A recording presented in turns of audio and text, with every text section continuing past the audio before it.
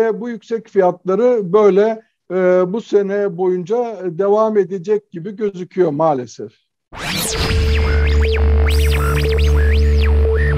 Pandemi sonrası artan talep, emtia ve enerji fiyatlarının hızla yükselmesine neden oldu. Fiyatların yılın ikinci çeyreğinden itibaren yavaş da olsa düşüşe geçmesi bekleniyordu. Rusya'nın Ukrayna hamlesi tüm bu beklentileri bozdu, gelecek projeksiyonları değişti. Dünya ucuz enerji için beklemeye devam edecek. Enerji krizi olduğunda, doğalgaz krizi olduğunda fiyatlar çok yükselmişti. Bir, geçen sene Eylül ayından itibaren ve bu yüksek fiyatların önce Nisan'da biteceğini tahmin ettik e, ona göre e, vadeli e, işlemler piyasasında TTF'de e, Nisan'dan sonra fiyatlar daha düşük gözüküyordu.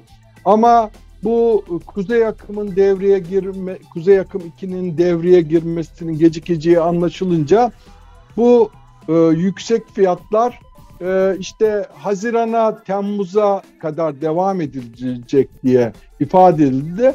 Ben sabah bu yayından önce ee, gene baktım TTF fiyatları 2022 yılının bütün e, yıl boyunca yükselmiş e, vadeli işlemlerde. Yani 80 euro bu 900 dolarlar civarında e, 1000 metreküpe e, tekabül ediyor. Çok kabaca söylüyorum. Yani fiyatların TTF fiyatlarının yüksek olacağı, bütün yıl boyunca yüksek seyredeceği anlaşılıyor. Ukrayna krizinden dolayı bu da Rusya'nın da işine geliyor. Amerika'nın işine geliyor, Katar'ın işine geliyor, Norveç'in işine geliyor.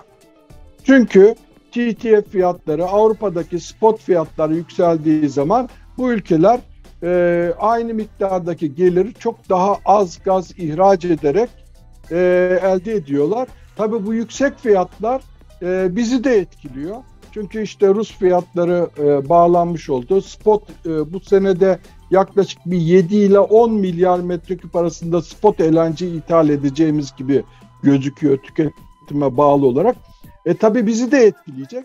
Tabi alım fiyatlarımız yükselince o zaman ne olacak? E, biz de e, doğalgazı tüketenlere döneceğiz.